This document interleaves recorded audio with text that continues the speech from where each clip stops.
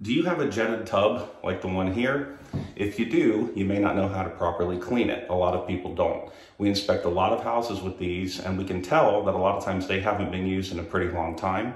And we know that that's probably because the homeowner has been grossed out by the black gunk that's come out of the jets. Uh, they're trying to have a good experience mimicking a hot tub and instead they get grossed out.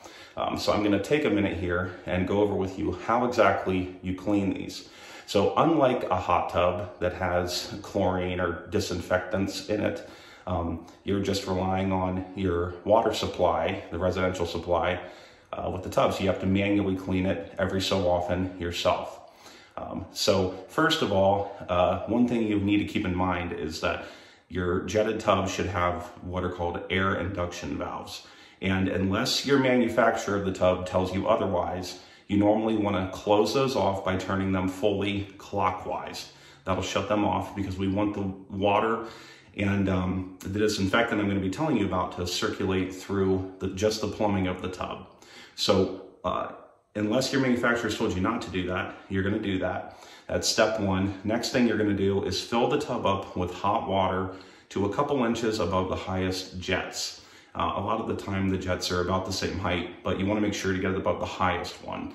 So after you've done that, you're gonna pour in about a half cup of bleach, or you could use white vinegar if you wanna go with a more eco-friendly option. And then you're gonna also pour in about two tablespoons of a low sudsing uh, dishwashing detergent.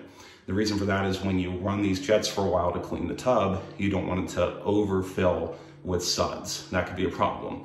So uh, after you put all that in, you're gonna start the jets. You're gonna run the tub for about 15 minutes. And if you see at the end of that 15 minutes that you still have some dirt or other grime particles coming out of the jets, just let it run a few minutes longer. After that, you're gonna drain all that water out, and then you're just gonna repeat the exact same steps, but without the white vinegar or the bleach or the detergent the second time. So just water and cold water is fine the second time.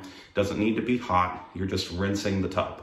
So the second time around, you're gonna run the jets for about 10 minutes. So you don't have to do it quite as long. And again, if you see any grime still coming out, just let it run a few more minutes. Um, so that's it. Uh, step one is just with the disinfectant. Step two is just plain cold water.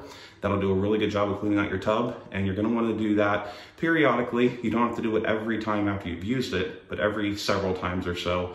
Uh, and you'll be able to tell once you see that gunk forming when you need to do it. Hopefully this will help you to know how to clean your tub better next time and to have the experience that you wanna have with your jetted tub.